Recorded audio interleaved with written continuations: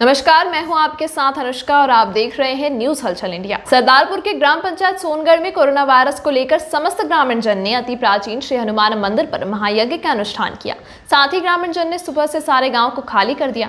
साथ ही अपने पशु मवेशी को भी अपने साथ खेतों पर लेकर चले गए। आज दिन भर पूरा गाँव खाली रहेगा, वही सभी के घर पर ताले लगाए गए। एवं गाँव से बाहर श्री हनुमान जी के मंदिर पर महायज्ञ का आयोजन कोरोना वायरस को भगाने के लिए किया जा रहा है। आपको बता दें कि लोगों का ऐसा मानना है कि ऐसा करने से इस महामारी से मुक्ति मिलेगी।